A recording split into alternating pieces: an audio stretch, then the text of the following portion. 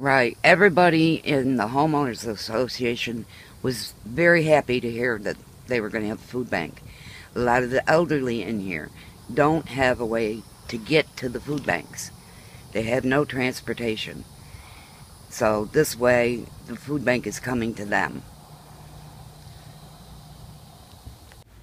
People who are destitute in this park, first off, why don't they go to their own families? They should be responsible for them, not the owner of the park. I mean, how many landlords give food and clothing and take care of people that rent from them?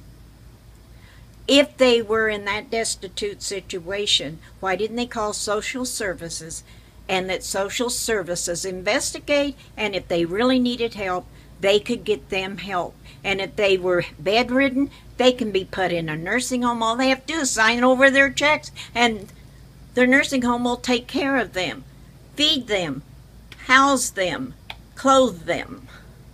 We're doing everything possible, and we will be going into court.